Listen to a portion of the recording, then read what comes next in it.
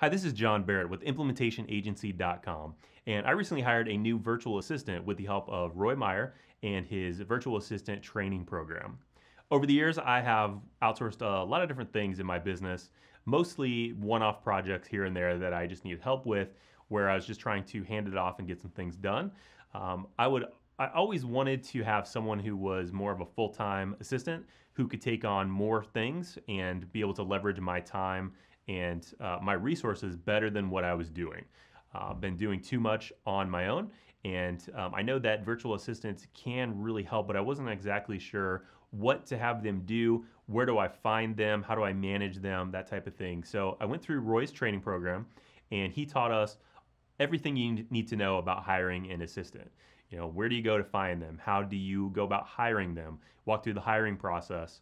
Um, we walked through what do you do when you bring them on board? How do you manage them? How do you pay them? Like all of the different technical aspects and resources and systems and processes for going about hiring a virtual assistant and finding someone who's going to be a great fit for your business and then how to work with them long term. So, how do you train them? How do you work with them? How do you communicate with them? All these things were covered in Roy's training, and um, I really learned a lot of things that I was doing wrong, frankly, uh, when I was trying to do it myself. So after going through the program, I got really excited about hiring someone.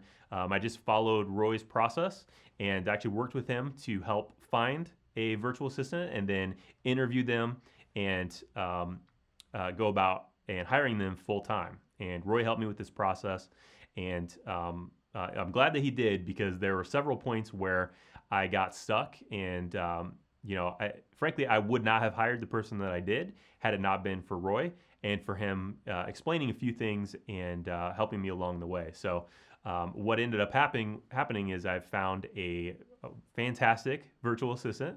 I brought him on a few months ago, and it's been uh, uh, probably about four months, and it's going fantastic. So, the great thing about having the virtual assistant that I have is uh, I'm able to hand off a lot of the tasks that I either don't want to be doing or shouldn't be doing.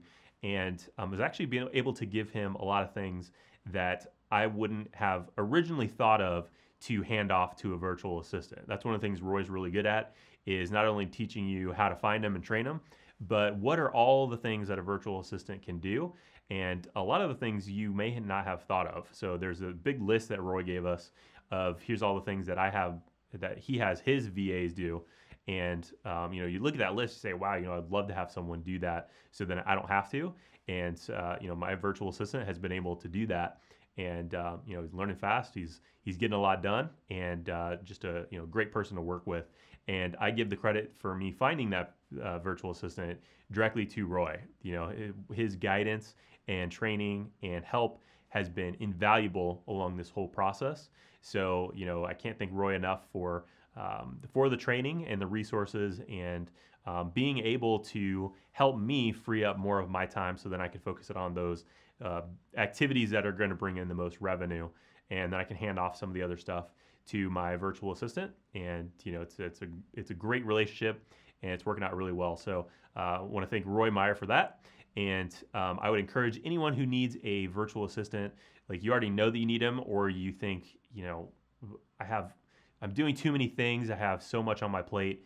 I wish I could hand it off to someone. Well, odds are most of that you could hand off to a virtual assistant. And with Roy's process, he goes through exactly how to do that.